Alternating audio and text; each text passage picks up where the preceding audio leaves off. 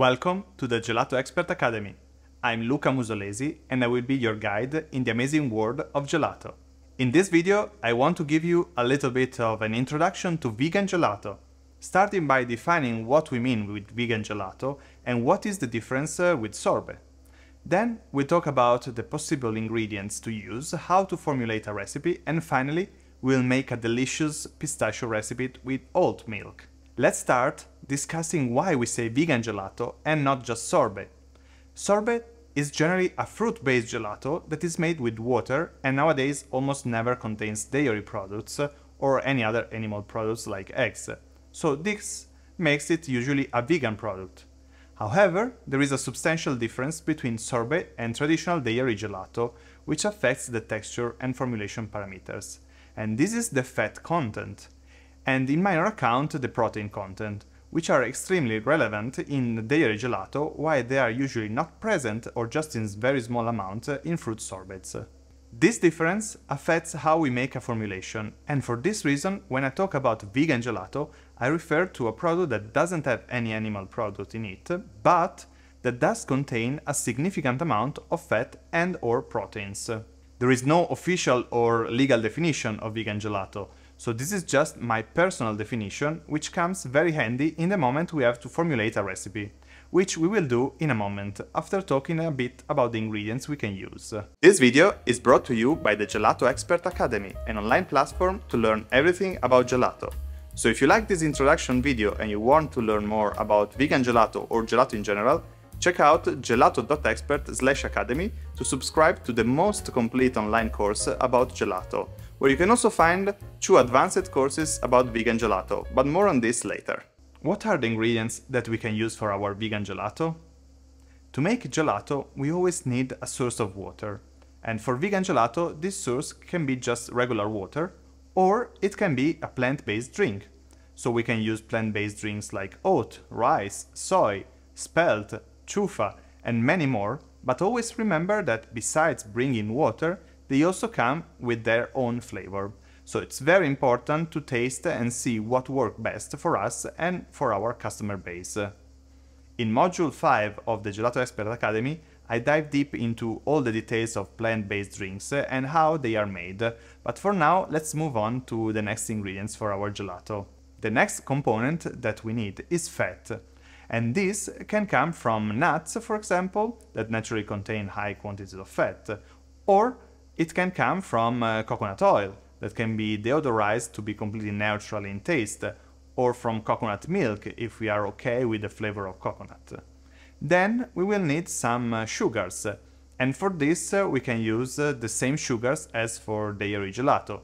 That can be, for example, sucrose, dextrose and uh, glucose syrup or maltodextrin. However, what we don't have is lactose, that is coming from milk, so we will have to replace that with other sugars that are uh, added. You might want to use only sucrose and dextrose if, for example, you use a high quantity of fibers, which are our next ingredient. Yes, because fibers are an excellent ingredient to reduce the sugar content in vegan gelato, and at the same time give an excellent texture in terms of smoothness and creaminess. You can avoid using fibers and increase the amount of sugars in gelato, but fibers are healthier and improve the shelf life of the products, so I would definitely recommend using them. At this point, we have to decide what are the flavoring ingredients for vegan gelato, and here only our imagination is the limit. We can use all sorts of nuts, we can use spices and herbs like vanilla, mint, tea, we can use coffee, chocolate, liquors, anything you want. Finally, just like for dairy gelato, we will need a small amount of stabilizers that help uh, the texture of gelato and improve the shelf life. After we decide the ingredients we want to use for our recipe, it's important to consider some parameters that will ensure our recipe has the texture and behavior of a gelato. I'm talking about sugar content, fat content, total solids and freezing point. These parameters are in fact very similar to dairy gelato, and not surprisingly, since our aim is to make a product that is just like a, a dairy gelato, but plant-based. So we will give some ranges that allow to play with the ingredients to formulate any recipe. The first parameter to consider when formulating is sugars, and here we can set our goal between 20 and 25% of total sugars, which include the added sugars and the naturally occurring sugars coming from the use uh, of any ingredient that can, might contain sugars. Then we have to consider a range for the fat content, and on average we can say that uh, we want to stay between 4 and 10%. If we make Italian gelato style, we probably don't want to go above 10%, otherwise we can have some greasiness feeling. Then, a very important parameter is total solids. Total solids counts all the carbohydrates, uh, fats, uh, proteins and other things like mineral salts. And to get a smooth and creamy vegan gelato, we definitely want to be above 38% of total solids. Finally, we have the freezing point, uh, which I discuss in detail in the Gelato Expert Academy. But this is very useful when we have uh, and we want to make several recipes with similar properties. Just like for dairy gelato, we generally want the freezing point uh, to be between minus 2.5 and minus 3.5 uh, degrees Celsius. Now, how do we calculate these parameters? In the Gelato Expert Academy, we use our web app Gelato Passport Plus, of which you can find the link in the description. With Gelato Passport Plus, you can have your own personal database of ingredients where we can add or change an ingredient or its nutritional values. Then we can just add the ingredients in the web app and Gelato Passport Plus will calculate all the parameters you need to formulate and control your recipe. It works on any device, so we can also use it as a quick tool for production while we are in the lab, and we can also use it to create nutritional labels for our product. It's now time to formulate a recipe, and what we can do is one of the most popular flavors in Italy, pistachio. For this example, let's make a pistachio recipe with oat milk. In the vegan courses of Gelato Expert Academy, you can find more recipes and variation on the pistachio formulation and many more. First, we have to decide the ingredients to use, and we already said we want to use pistachio, which can also be our source of fats, and oat milk as a source of water. Then we will use sucrose and dextrose as main sugars, and then we can use uh, glucose syrups, uh, but for this recipe we will use a specific type of fiber that allows us to reduce the amount of sugars. If you use another type of fiber, you might want to consider also using uh, glucose syrups or maltodextrin. Then we will add some salt to improve the flavor and a gelato stabilizer, which must be vegan as well, of course. At this point, we can start putting our ingredients and check that the formulation parameters are in the ranges that we mentioned before. Now we have here our Gelato Passport Plus app where we can make the formulation, insert our ingredients and calculate all the values. We already put all the ingredients that we need, starting from uh, the oat milk. In this case we have uh, Oatly enriched, but you can use any oat milk of course. Then we have a pure pistachio paste from Sicily without any coloring. This is the brand. Then LESSenza, it's a fiber syrup that is specifically good for vegan formulation but in our courses uh, about vegan gelato, you will see how uh, you can replace this fiber with inulin or with other types of fibers and what are the things that you have to do to replace it. Then we have uh, sucrose, so normal sugar, dextrose uh, to give some more softness and to replace part of the lactose that we are missing from the absence of dairy products, salt because it's good with pistachio, and a stabilizer. So let's start first uh, from the quantity of pistachio. We want to use 10% of pistachio, which is a good amount to give a lot of flavor, but not too much to make it too expensive.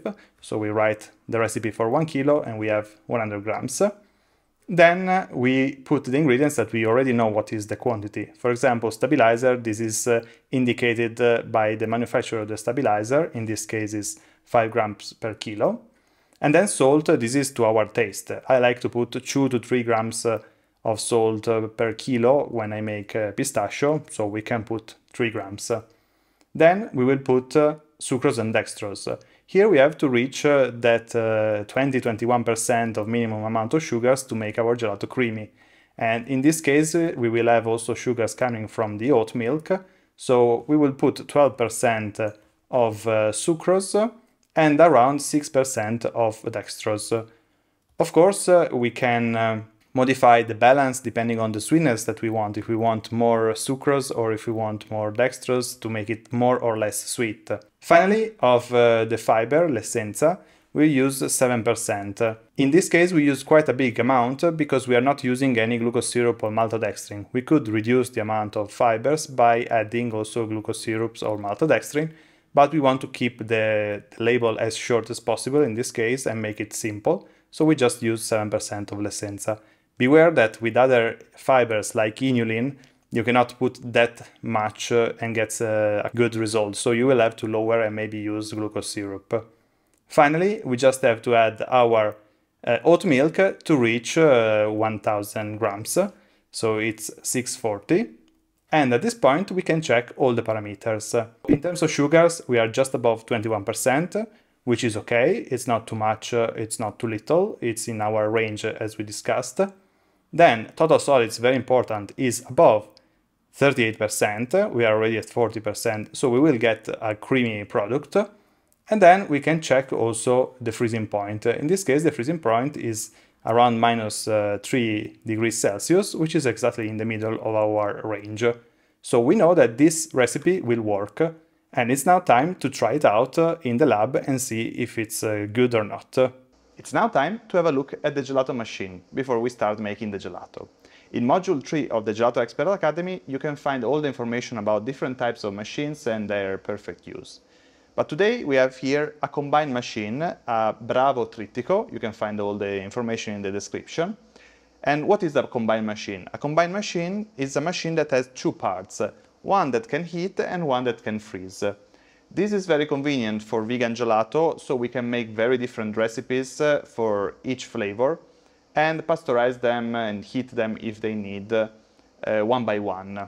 So in the upper part, we have uh, our heating cylinder where we can heat our mix and then when it's ready we have here a valve called butterfly valve that we can open and uh, the gelato goes uh, down directly from the pasteurizer to the freezing cylinder without going outside of the machine. Then, when the gelato is in our freezing cylinder, we can close back the valve so here we can already put a second flavor, or we can put water to clean if we need.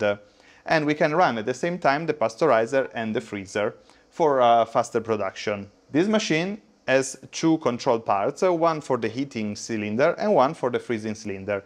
The red one is for the heating and the blue one is for the freezing. Here we can select the temperature at which we want pasteurize and uh, if we want, for example, to set an alarm at a certain temperature. And then here in the freezing part, we can select uh, different programs uh, and uh, decide at which temperature or at which uh, consistency we want our gelato to be extracted. And then when the gelato is ready, we can open, and you will see in a second when we make it, and extract it from here. And after that, we will use a blast chiller to stabilize the gelato. Why we use a blast chiller uh, is because the temperature at which the gelato comes out uh, is still quite high to be stable. So if we want to preserve the gelato for longer time, a blast freezer will help uh, a lot with this. Now let's prepare our ingredients and put the machine in action, preparing the gelato. It's now time to prepare our gelato. To make the gelato, we simply have to mix all the ingredients together and we first uh, mix the powders and then the liquid parts, then we blend them all together. We heat it to 85 degrees and finally we freeze it. After freezing, we can put it a few minutes in the blast freezer to stabilize the gelato and then it's ready to go to the showcase or to be eaten, of course. Or we can leave it for a longer time in a blast freezer and then uh, uh, preserve it for a longer time in our storage. So, uh, starting from uh, the ingredients, here we have uh, all our ingredients for the gelato. So we have our sucrose, and let's start by adding the sucrose.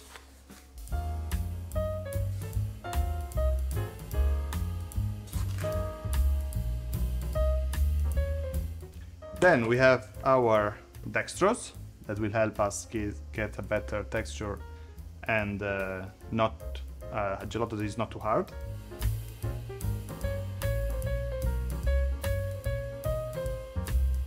Then we have a little bit of salt. Uh, this is optional, of course, uh, but with pistachio it goes very well, so we want to have it.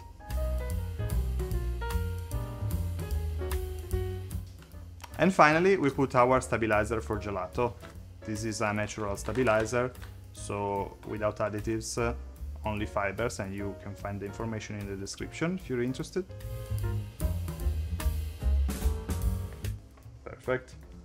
Now, we just stir a little bit the powders, so we don't get lumps when we mix. Of course, if we have uh, a high shear blender, we will not have problems uh, of lumps. After this, we can move to our liquid ingredients. So our liquid ingredients are basically three. We have uh, the pistachio paste, which is from Sicily. It's smooth, nicely roasted, and uh, very aromatic. Then we have the oat milk. You can use, of course, any brand. And finally, we have our fiber syrup, this looks a little bit like uh, honey, but it's just uh, vegetable fibers and water. So we start by adding our pistachio.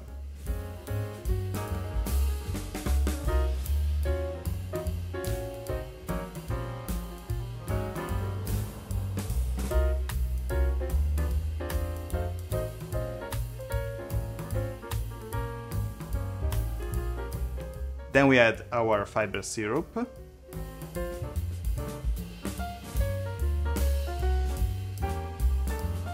And finally, we add uh, the oat milk.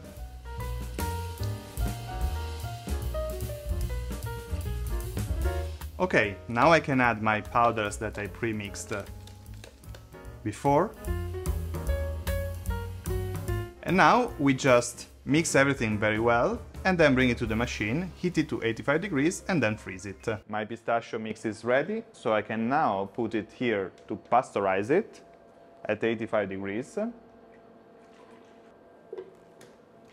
Okay, I can start the pasteurization process. The mix is ready, so I can uh, open the valve and uh, start my freezing process. The gelato is now ready, so we can take a plastic spatula and extract it.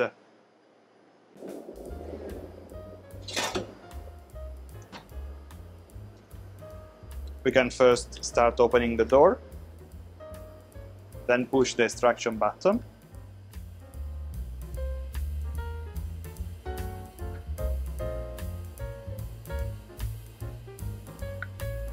Then we can go faster.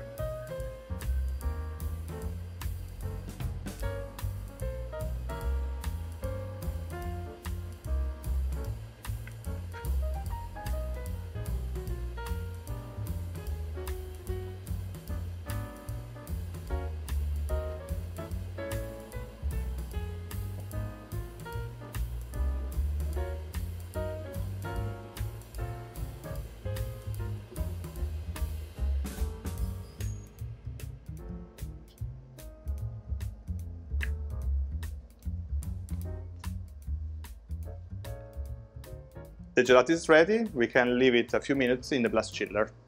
Okay, after a few minutes in the blast chiller, we can check our gelato and see how it is. And uh, here is our gelato.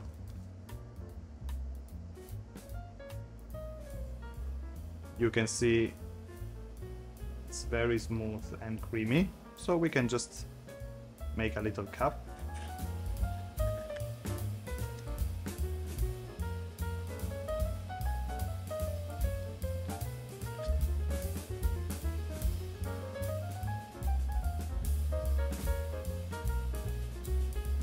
There you go.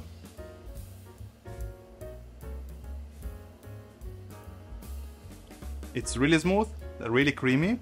You cannot really feel the oat milk taste, just very strong pistachio taste. So, perfect I would say. In this short course, we have seen an introduction to how to formulate and produce vegan gelato. If you are interested and want to learn more, you can check out uh, the courses on vegan gelato from the Gelato Expert Academy. In Module 5, you can learn all the theory and the formulation techniques in depth, while in the Vegan Gelato Masterclass you will have a big recipe book with detailed production videos. If you are new to the gelato world, I suggest subscribing to the module 1, 2 and 5 to have a good knowledge of the ingredients and formulation for gelato and vegan gelato. You can find all the links in the description and don't forget to subscribe to our channel for more videos and free courses. See you in the next video.